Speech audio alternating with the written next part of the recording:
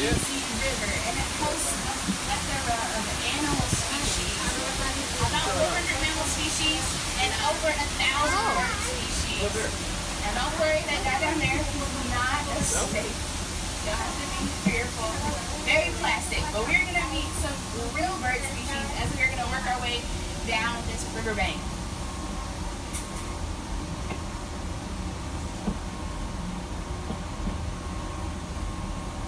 Now, I don't know if you can see those birds on that back piece of land. They're kind of gray. They have a black tail. Those are going to be our or our Stanley crane. They're the national birds of South Africa. This bird is wading in the water kind of the edge. That is going to be a snow egret. Now, it's not native to Africa. It's actually native to Texas. But these birds that can fly into the habitat, they scrounge off the free food that we have here. So I'll give them props for that. Very smart.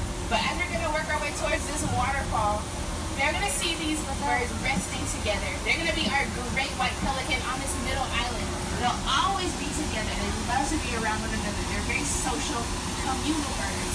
Now I'm going to meet you guys on the other side of this waterfall, so enjoy. Don't get wet.